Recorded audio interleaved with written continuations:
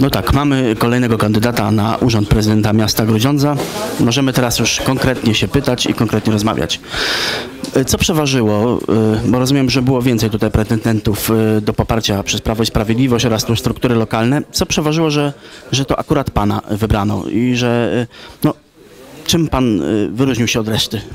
No, myślę, że ta oferta, którą kilka miesięcy temu złożyłem Prawo i Sprawiedliwości, że pójdziemy do wyborów razem i że poprzemy jako Ruda Grudziądza kandydata, którego Prawo i Sprawiedliwość wskaże, y, no, została bardzo dobrze przyjęta. Później y, y, kilka miesięcy w zasadzie rozmawiałem i ze strukturami, i z władzami Prawa i Sprawiedliwości.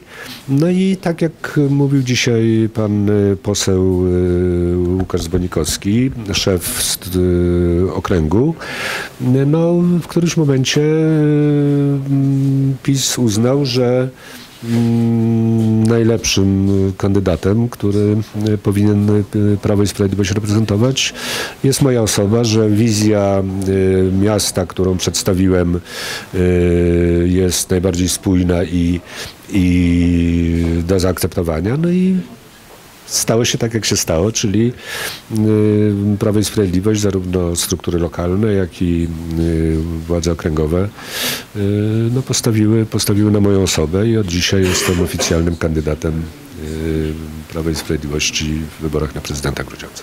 Pierwsze komentarze takie przewidujące już, że tak powiem, pana wybór od strony tutaj głównego konkurenta, więc Platformy Obywatelskiej, struktur Platformy Obywatelskiej, no, że tak powiem, były, jesteśmy zadowoleni z tego, że to akurat Andrzej Wiśniewski będzie wspierany przez Prawo i Sprawiedliwość. Nie boi się pan y, takiej podjazdowej walki, bo był pan już prezydentem, a zawsze jest tak, że osoba, która już była, y, w pewnym sensie, no, Zawsze można mu coś wytknąć, y, zawsze można coś, y, coś wskazać. No, nie jest się już, że tak powiem, przeźroczystym.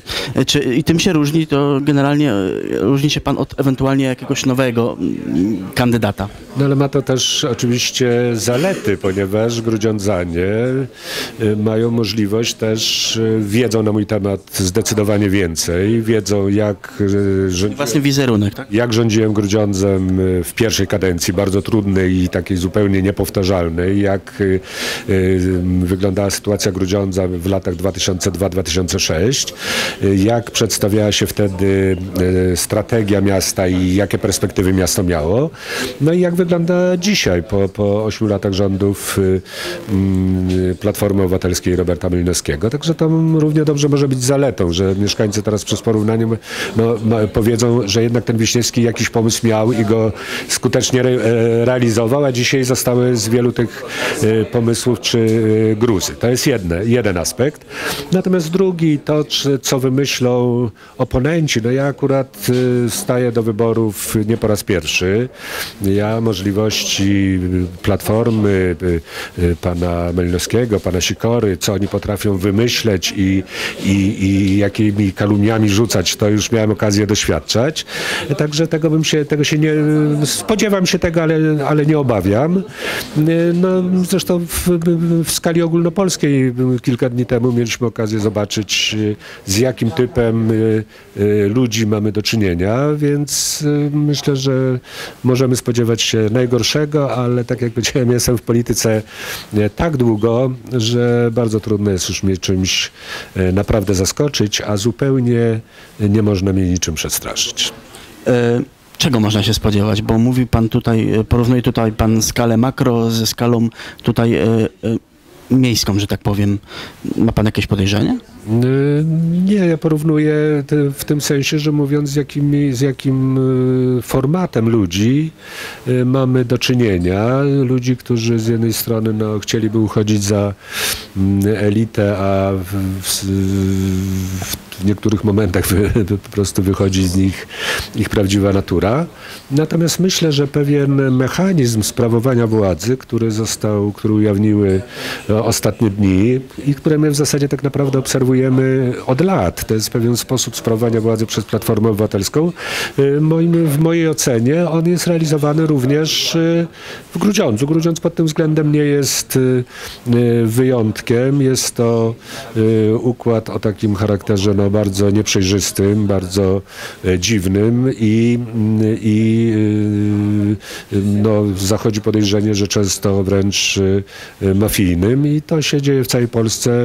Nie widzę powodów, żeby Grudziądz miał być od po 8 latach rządów Platformy od tego wolny. E, Tutaj, Z tym poradzimy. tutaj będzie pan się ścierał, no niejako można powiedzieć w nierównej walce, bo będzie aż dwóch prawdopodobnie kandydatów y, ze strony Platformy Obywatelskiej. Janusz Zięcioł, Robert Malinowski, dwóch dosyć popularnych, co trzeba podkreślić. A trzeba też patrzeć na słupki. No, ostatnie wybory pokazały, co prawda może nie mające przedkład, przełożenia na wybory samorządowe, 3 do 1. Co zrobić, żeby zwiększyć może frekwencję osób chcących, y, że tak powiem, w tych wyborach wziąć udział samorządowych, y, jak i przekonać do siebie? Znaczy ja myślę, że podzielona platforma to jest problem platformy, bo to raczej oni ma- mają, mają kłopot, nie ja. No, Janusza Dzięcioła poprą środowiska lewicowe. Dla mnie, dla mnie każdy podział y, po tamtej stronie jest oczywiście korzystny. Natomiast y, myślę, że nawet analizując te wybory przy takiej frekwencji, jaka była i biorąc pod uwagę, że do wyborów samorządowych y, pójdzie kilkanaście procent więcej, to widzę to w ten sposób. Wynik Platformy jest takim trochę y, dojściem do sufitu, że tak powiem, ten wy- wynik z eurowyborów. Natomiast w przypadku PiSu, który jest naturalnie, gdzie wyborcy PiSu są dużo bardziej eurosceptyczni, wielu z nich nie poszło, na wybory samorządowe pójdą y, i zakładam, że y, na wybory samorządowe pójdą też ludzie niezadowoleni, bezrobotni, skrzywdzeni w ciągu ostatnich lat i jestem przekonany, że z tych kilkunastu procent, która y, mm, pójdzie Jest do około 12-13%. no, co najmniej tyle będzie, bo myślę, że zakładam, że frekwencja wyborcza będzie w granicach 38-40%, a było 22 z kawałkiem, więc to jest, y, no myślę, że zdecydowana większość tej zwiększonej y, frekwencji y, to będą y, nasi wyborcy. Wspominał pan tutaj o Nowej Prawicy, że rozmawiacie z nim, jakieś rozmowy toczycie, no bo to jest kolejne 5-6% w skali Grudziądza, a może i więcej. Oczywiście, ja zresztą z tym środowiskiem y, no, łączą mnie y, liczne sympatie, znam wielu z tych, y, wiele z tych osób, bardzo sobie y, cenię, to są często bardzo młode, aktywne osoby.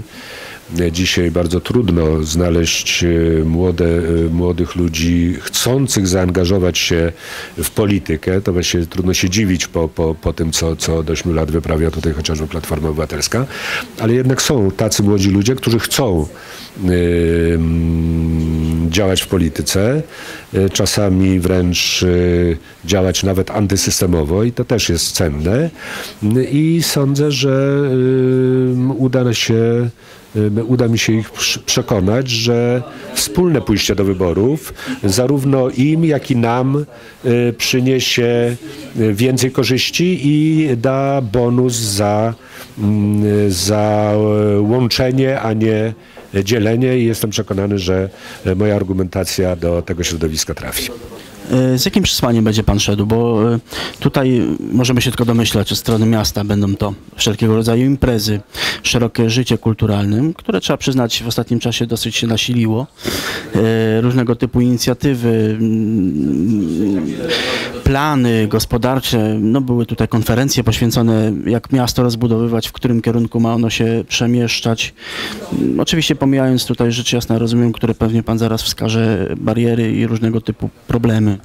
Znaczy no, na pewno nie pójdziemy, bo nie mamy ani takich możliwości, ani ochoty. Nie, z, y, wybory to nie jasełka i igrzyska. Miasto, Ale Robert Malinowski będzie przek- przekazywał to, co zrobił przez ostatnie lata. Ja rozumiem, że to nie jest e, porównywalne z pańskim okresem, bo to trochę inny okres, inny czas. Ja myślę, że jeżeli Robert Malinowski rzetelnie chciałby pokazać to, co zrobił, to myślę, że to byłaby dla niego najprostsza droga do y, przegranej, no bo wtedy musiałby pokazać y, takie fakty, które y, są mało popularne, to znaczy inwestycje, które nie przynoszą miejsc pracy, y, y, potężne bezrobocie, tysiące młodych ludzi wyjeżdżających za granicę. Jeżeli to rzetelnie pokaże, to myślę, że wygrane wybory mam w kieszeni. Tak można by do tego żartobliwie podejść. Natomiast my będziemy starali się, tak jak mówiłem, mówić oczywiście o tym, jak jest w Grudziądzu, ale będziemy y, przede wszystkim zwracali uwagę na to, jaki mamy pomysł, aby sytuację Grudziądzan y, zmienić. Co zrobić, aby Grudziądzanie y, wiedzieli z, z, z czego, za co będą żyć y, za rok, dwa, pięć lat i dziesięć. Y, Co zrobić, aby y, grudziącka młodzież nie musiała y, wyjeżdżać w poszukiwaniu pracy do innych miast, a często również y, y, do innych krajów. I wreszcie co zrobić, aby y, nasze dzieci, które już wyjechały, y, miały do swojego rodzinnego miasta y, po co wracać. Ja ojcem y, dwójki synów, która już jest za granicą. Y, Bardzo zależy mi, żeby y, trzeci syn i córka nie musieli wyjechać i będę się zwracał do tych wszystkich, którzy też z niepokojem myślą o swoich dzieciach, które gdzieś tułają się po świecie w poszukiwaniu godnych warunków życia i będę się starał ich namówić, żebyśmy zrobili wspólnie wszystko, aby mieli oni po co do Grudziądza wrócić. No i tu już ostatnie pytanie. Najbardziej zmobilizowana część wyborców w Grudziądzu, bo rozumiem, że Państwo będą tutaj też kierować swój, swój przekaz do osób niezadowolonych, ale najbardziej zmobilizowana, jak pokazują kolejne wybory, to są e, pracownicy samorządowi, urzędnicy, pracownicy szpitala, gdzie tutaj jest gigantyczne poparcie dla jednego z prominentnych działaczy Platformy Obywatelskiej, pana Nowaka. E, To są takie grupy środowiska bardzo zmobilizowane, bojące się też zmian, czasami popierające coś, co już jest, co jest stabilne w ich mniemaniu. W jaki sposób do tej grupy, do tej chyba najbardziej moim zdaniem zmobilizowanej i najbardziej takiej idącej do wyborów zawsze, bo niejako decydującym o własnym losie, jak do takiej grupy pan chce się przebić? Ja, ja nie podzielam tego zdania, to być może jest zdanie pana doktora Nowaka, który chętnie je wygłasza, o tym powszechnym poparciu i zadowoleniu. Ja myślę, że e, coraz więcej osób y, y, pracujących To, to pokażą dopiero kolejne wybory oczywiście. Y, ma świadomość siedzenia na tykającej bombie y, z opóźnionym zapłonem. I myślę, że to samo dotyczy też wielu urzędników, to samo dotyczy, powinno dotyczyć nauczycieli i tak dalej. W tym roku odmrożenie płac. I, i, jeżeli te osoby sobie to uświadomią, a my im to uświadomimy, y, to myślę, że one też uznają, że jedyny sposób, żeby ta, tę bombę rozbroić i żeby wszyscy y, nie wylecieli w powietrze, y, to jest po prostu jak najszybciej zmienić w tym mieście władzę. Też konkrety mówię właśnie, odmrożenie płac. Właśnie akurat w tym roku wyborczym w sferze budżetowej, w Urzędzie Miejskim będą podwyżki. No, prawdopodobnie jeszcze nie jedna taka e, atrakcja nas czeka. Zresztą widzieliśmy, że e, na szczeblu centralnym kombinuje się o tym, żeby Bank, e, Narodowy Bank Polski wbrew konstytucji e, drukował pieniądze. Możemy oczywiście w taką wesołą twórczość w kraju i w mieście również się pobawić, tylko że to się po prostu źle skończy i ja wierzę, Czyli chcecie przemówić takim racjonalizmem, tak? Mądrość, nie, ja jestem przekonany, ja tak jak wierzę w mądrość y, Polaków, tak wierzę oczywiście w mądrość również Grudziądzan, że na tego typu y, numery się już y, y, nie nabiorą. To można robić do czasu, natomiast myślę, że ten czas dla rządu Platformy Obywatelskiej również w Grudziądzu się kończy. Ważne jest tutaj zaplecze. Kampania to praca zbiorowa. Słyszałem tutaj, że będą listy tworzone. Jakie środowiska w tej chwili już wokół pana się skupiają? Bo wiem, że prowadzono jakieś rozmowy. No, może za wcześnie, że Dla Grudziądza, Prawo i Sprawiedliwość. My, tak jak powiedziałem, będziemy się starali e, skupić wokół siebie i trafić ze swoją ofertą do y, wyborców różnych. Oczywiście najpierw do tych najbliskich ideowo, a więc po prawej stronie sceny politycznej, ale e, chcemy również e, trafiać do Widziałem na dzisiejszej konferencji innych kandydatów, nie będę, żeby nie mówić antyreklamowo. Tak, no nie ukrywam, że rozmawiamy bardzo poważnie z panem Sławomirem Dębskim. Y, Będziemy rozmawiali ze środowiskiem, tak jak powiedziałem, rozmawiamy y, z, z Nową Prawicą, będziemy rozmawiali z ruchem y, pana Gowina. Też tu przedstawiciela środowisk rowerowych. Tak, będziemy po prostu zwracali się do wszystkich środowisk, które uważają, że y, Grudziądz wymaga y, zmiany i chcą w tej zmianie y, uczestniczyć. I my gwarantujemy, że jesteśmy tą siłą, która potrafi te zmiany dokonać i że jesteśmy tak naprawdę jedyną skuteczną alternatywą, żeby przerwać tą degradację Grudziądza, z jaką mamy do czynienia pod rządami Platformy Obywatelskiej i Roberta Melniowskiego.